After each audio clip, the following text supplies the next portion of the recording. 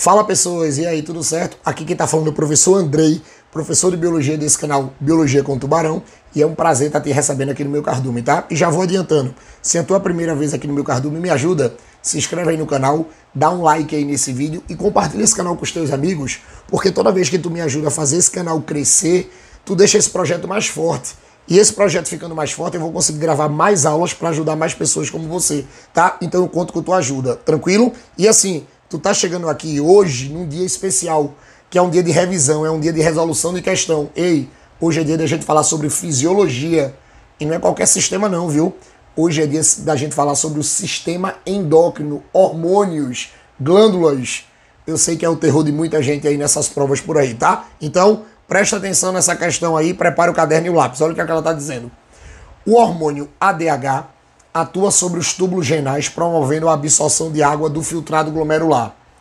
A deficiência na secreção desse hormônio faz com que a pessoa produza. Vamos lá, vamos por parte. Galera, é o seguinte: esse hormônio é chamado de ADH porque ele é o hormônio antidiurético, tá? Algumas pessoas também chamam o ADH de vasopressina. Vocês podem encontrar em algumas provas por aí o hormônio ADH sendo chamado de vasopressina. Qual é a primeira coisa que eu preciso que vocês não esqueçam? É o local de produção dele. Lembrem que esse hormônio é produzido no hipotálamo na cabeça. Ele é produzido no hipotálamo da cabeça. Muita gente pensa que ele é produzido na neurohipófise, porque o que é que acontece? A gente tem uma glândulazinha na cabeça chamada de hipófise. E essa hipófise tem duas partes. Tem a parte da frente, que é chamada de adeno-hipófise ou hipófise anterior. E tem a parte de trás, que é a hipófise posterior ou neurohipófise. Mas aí o que, é que a galera esquece? Que a parte de trás, que é a neurohipófise, ela é uma parte, ou seja, é uma, é uma região da glândula que ela não consegue produzir hormônio. Ela não consegue produzir hormônio, mas ela guarda e secreta. Porém, os hormônios que ela guarda e os hormônios que ela secreta vêm do hipotálamo. O danado do hipotálamo produz o ADH, produz a ocitocina e manda para a neurohipófise guardar. De acordo com a necessidade do corpo, a neurohipófise vai liberando esses hormônios. E um desses hormônios é o danado do ADH ou antidiurético. Como a questão está dizendo, o danado do hormônio antidiurético ele vai bater lá nos túbulos dos néfrons. Porque vocês têm que lembrar que dentro de cada rim eu vou ter milhares de néfrons que são estruturas responsáveis pela filtragem do sangue e produção de urina. É como se dentro, do, dentro de cada rim eu tivesse milhares de pequenos filtros que vão filtrar o sangue para produzir a urina. Aí o que, que acontece?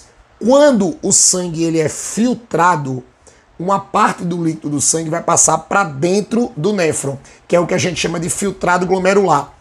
Esse filtrado glomerular, ele vai passear pelo néfron.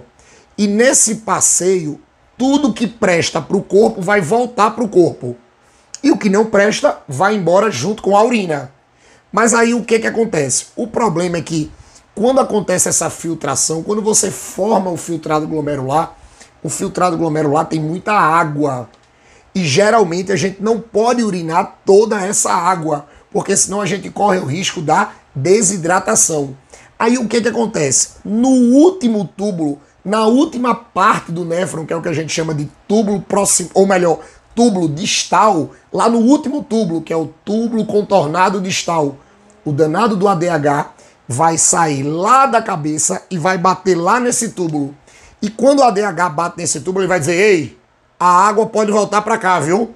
Aí sabe o que é que ele faz? Ele puxa a água para dentro do corpo, para que a gente não urine exatamente água em excesso, para que a gente não corra o risco da desidratação. Por isso que ele é chamado de antidiurético, porque ele diminui a quantidade de água da urina. Porém, se ele trabalha para diminuir a quantidade de água da urina, se você tiver uma deficiência de ADH, você concorda comigo que a partir do momento que o ADH não trabalha, a água que vai chegar no final do néfron vai embora. Então você vai aumentar o volume da urina, você vai aumentar a diurese. A partir do momento que você aumenta o volume da urina, a pessoa vai começar a produzir muita urina. E um detalhe, como essa muita urina vai ter muita água, Então a concentração dessa urina vai ser baixa, porque vai ter muita água, e a concentração, ou seja, os solutos, vão diminuir muito, porque você vai ter muito mais água do que o soluto. Então vai ser muita urina, pouco concentrada, porque ela vai estar tá com uma grande quantidade de água. Logo, o gabarito dessa questão ó, só pode ser gabarito letra B. Muita urina com baixa concentração de excreção. Por que baixa concentração? Porque você vai ter muita água. Agora tem um detalhe, tá? Cuidado que esses casos recebem o nome de uma doença que é chamada de diabetes insípidos. Cuidado que as pessoas que não produzem ADH e têm problema de urinar muito mais do que o normal, essas pessoas vão sofrer de uma doença chamada de diabetes insípidos. Que essa pessoa vai ter. O grande risco dela é morrer por uma desidratação. Agora eu sei que essa palavra, eu sei que o nome dessa doença é um nome muito comum, que é, que é a diabetes. Aí você lembra logo da diabetes do açúcar. Mas lembrem que a diabetes do açúcar é a diabetes mellitus. A diabetes por falta de ADH é a diabetes insípidos, tá? E assim, por mais que os nomes sejam muito parecidos, mas não tem nada a ver uma coisa com a outra, tá? Lembrem que a diabetes mellitus é o excesso de açúcar no sangue. A diabetes insípidos é a falta de produção de ADH. Por causa disso, você vai ter um aumento no volume da urina, correndo o risco da desidratação. Tranquilo? Beleza? Então é com isso que a gente fecha mais uma aula aqui no Cardume, tá? E assim, se tu gostou, não esquece, viu? Se inscreve aí no canal, porque eu quero te ver aqui, menino. Ei, menina, nas nossas próximas aulas aqui no Cardume, tá? Beijo no coração, viu? Valeu!